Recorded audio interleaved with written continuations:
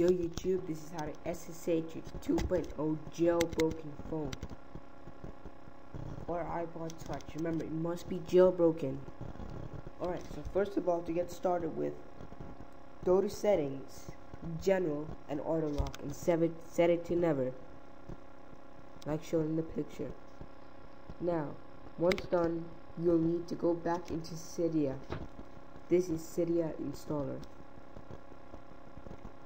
Then go into Cydia and go to the featured section.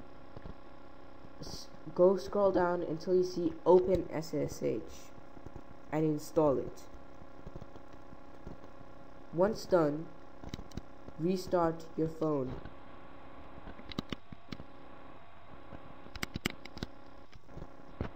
Once restarted, go into wi Wi-Fi networks in settings and click the blue arrow next to the network you're connected to. From then, you'll see your IP address. This is your IP address. Now, I'll show you how to use WinSCP with it. First of all, go to WinSCP.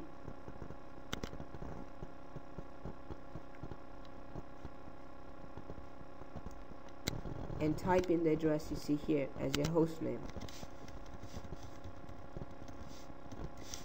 Alright. Now, your username is root and your password is alpine. A L P I N E. Click login. Make sure your iPhone is connected.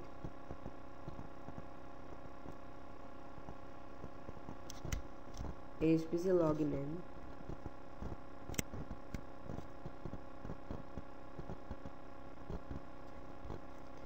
If it fails the first time, try again.